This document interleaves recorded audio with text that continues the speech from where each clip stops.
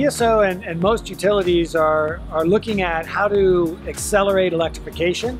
You know, there's a lot of barriers to providing uh, electric charging. There's, you have to bring in high power, uh, it takes up a lot of space, and so the FreeWire unit is really interesting to utilities because it it addresses all those barriers. It allows you to put a charger in in, in hours instead of months, uh, and it's it's redeployable. You can move it around. So they're very interested in that, as well as the future potential to use the battery to support the grid and not just charge vehicles.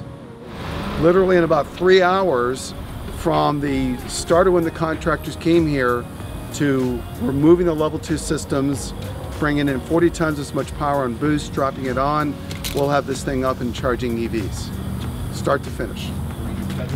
Uh, the beauty of the, the boost charger is that it has a battery integrated in the unit, so it can provide really fast charging for the consumer.